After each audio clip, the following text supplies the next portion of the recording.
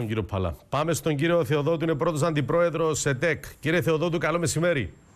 Καλό μεσημέρι. Τώρα τα κατάλληλα κτίρια, ποιος έχει τον έλεγχο να ελέγχονται αυτά τα κτίρια, το ΕΤΕΚ, οι, οι Δήμοι, ποιος, ποιος, οι επαρχιακές διοικήσεις; Λοιπόν, ε, εντάξει, ε, προφανώς είναι ένα θέμα πολύ σοβαρό, όπως το, όπως το έχετε πει.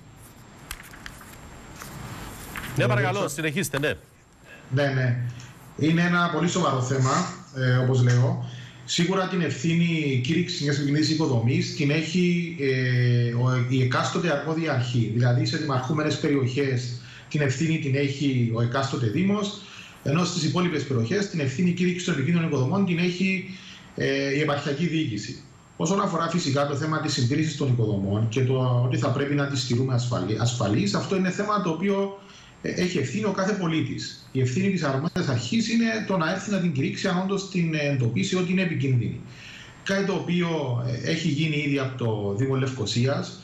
Ε, αν θυμάστε, πριν από δύο χρόνια είχαμε την κατάρρευση ενός πλήθυνου σπιτιού μετά από έντονη βροχόπτωση στην πλατεία του Όχι, όπου εκεί ο Δήμος Λευκοσίας ε, είχε προχωρήσει ουσιαστικά σε διάφορες συμβάσεις με ιδιώτες μηχανικούς, οι οποίοι προχώρησαν και από γειτονιάς σε γειτονιά έκαναν μια καταγραφή αυτών των επικίνδυνων οικοδομών και με τη σειρά του πλέον ο Δήμος, που όπως έχω πει, ως αρμόδια αρχή είναι ο, είναι ο υπεύθυνος για κήρυξη των επικίνδυνων οικοδομών, είχε στείλει τις σχετικές ειδοποιήσεις προς τους ιδιοκτήτες, οι οποίοι οφείλουν κανονικά εντός κάποιου χρονικού διαστήματος να, να διορίσουν ουσιαστικά ένα προσοντούχο μηχανικό, ο οποίος θα πρέπει να προχωρήσει ουσιαστικά σε αποκατάσταση αυτής της ε, επικινδυνότητα.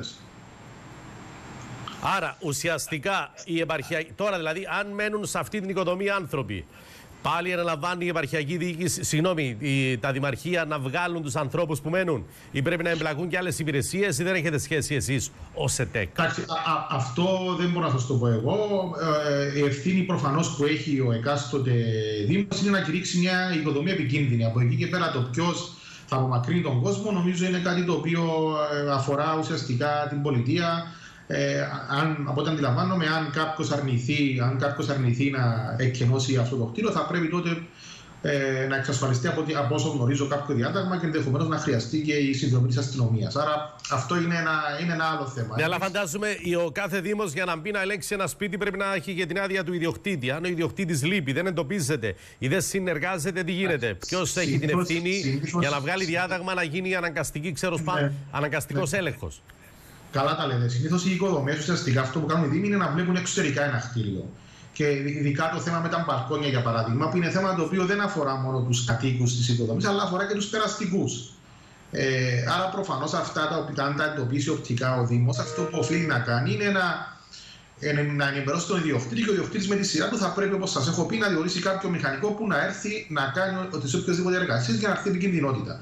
Γι' αυτό, όπως το λέτε, επειδή υπάρχει αυτό το, το κενό, όπως πολύ καλά εντοπίσατε, ε, στο, στο ότι δεν μπορεί ο Δήμος να μπαίνει μέσα στα κτίρια, γι' αυτό και εμείς ως ΕΤΕΚ τα τελευταία 7-8 χρόνια έχουμε ε, ξεκινήσει μια προσπάθεια προώθησης του πιστοποιητικού επιθεώρησης κτηρίων. Δηλαδή να είναι, να είναι πλέον ο, κάθε, ο ιδιοκτήτης κάθε οικοδομής υποχρεωμένος αφού περάσει μια χρονική διάρκεια την οποία καθορίζουμε ουσιαστικά σε αυτό το σχέδιο το οποίο έχουμε ετοιμάσει και έχει ήδη προωθηθεί προς το Υπουργείο Εσωτερικών και ευελπιστούμε ότι θα πάει στη Βουλή με το άνοιγμα στο Σεπτέμβρη. Με το οποίο ουσιαστικά εμείς τι λέμε. Εμείς θεωρούμε ότι θα πρέπει να ξεκινήσουμε σιγά σιγά αυτό το γυρασμένο στόκ ε, οικοδομών που έχουμε στην Κύπρο να το ελέγχουμε. Όπως κάνουμε με ό,τι αυτοκινήτων, λέει εδώ ο κύριος Παφίτης.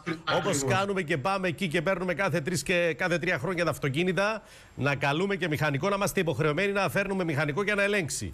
Ακριβώς. Και, και ξεκινάμε ουσιαστικά, κύριε Κυριακού, από τις οικοδομές οι οποίες είχαν γίνει πρώτο 1994, που ήταν μια περίοδος που δεν υπήρχαν οποιασδήποτε αντισυσμικός σχεδιασμός των οικοδομών και που είναι και μια ηλικίας πλέον πέραν των 30-40 χρόνων, άρα αρκετά γυρασμένες. Ξεκινάμε από τις οικοδομές οι οποίες ε, συγκεντρώνουν μεγάλο αριθμό ατόμων, δηλαδή θα πρέπει πρώτα απ' όλα να αξίσουν από τα, από τα εστιατόρια, από, τις, από τα θέατρα ενδεχομένως, από, τα, από τις καφετέριες, δηλαδή χώροι στους οποίους συγκεντρώνονται πάρα, πάρα πολλοί κόσμος. Ε, ε, μετά θα πρέπει να ξεκινήσουμε με τις οικοδομές οι οποίες βρίσκονται στα κέντρα των πόλεων, οι οποίες είναι συνεχείς δομής, άρα δεν υπάρχουν τα τρία μέτρα απόσταση. Άρα είναι πολύ πολύ πιο εύκολο εάν ε, πέσει κάποιο κομμάτι να χτυπήσει κάποιο περαστικό. Ε, και φυσικά και για τις ε, πολυόρφες οικοδομές που είναι μιας μεγάλης ε, πλέον ηλικίας. Άρα έχουμε ιεραρχήσει πλέον ε, ε, αυτές τις οικοδομές. Υπάρχει μια εισήγηση ότι θα πρέπει στα, στα πρώτα δύο χρόνια από την ψήφιση του νόμου όλες αυτές οι οικοδομές να εξασφαλίσουν αυτό το πιστοποιητικό καταλληλότητας. Μάλιστα. Και θα, και θα πρέπει μετά, όπως έχετε πει και εσείς, ανάλογα με το πόσο παγιά είναι η οικοδομή, είτε κάθε 5 είτε κάθε 10 χρόνια, ανάλογα με την ηλικία της, να πρέπει ουσιαστικά Για να. να δούμε πότε θα καταφέρετε να το περάσετε από τη Βουλή. Τώρα είναι το μεγάλο στίχημα. Ε, Το ελπίζω- περιμένουμε να δούμε. Ναι, στις εξαγγελίες Ελπίζω- και στα λόγια όλοι είμαστε καλοί, κύριε Θεοδότου. Στην πράξη περιμένουμε να δούμε τι θα κάνετε και τι θα πετύχετε. Ε, ελπίζουμε να έχουν, θορυβηθεί, να έχουν θορυβηθεί τώρα αρκετά. κύριε Ξέρετε για Κυριάκη. πόσα θέματα θορυβούνται και μετά από ένα μήνα που το ξεχνάμε, όλοι το βάζετε κάτω από το χαλί και πάμε στην επόμενη τραγουδία. Ε, είναι, Άρα- νομίζω ότι είναι καθήκον δικό μας, αλλά και δικό Και σας, δικό ως μας, ναι, έχετε εξαφανιστής δίκιο. Ναι. της επικοινωνίας, να μην το ξεχάσουμε και το Σεπτέμβριο που θα πάει στη Βουλή, ε, όλοι μαζί να, να πιέσουμε έτσι ώστε Ωραία. αυτό πλέον, πλέον να περάσει. Πρώτα ο Θεός, το Σεπτέμβρη τα ξαναλέμε. Ευχαριστώ κύριε Θεοδότου. Εγώ ευχαριστώ. Καλή συνέχεια. Γεια σας. Κύριε Παλά,